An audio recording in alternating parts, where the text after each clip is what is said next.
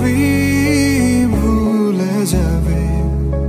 আমিও হব পুরনো।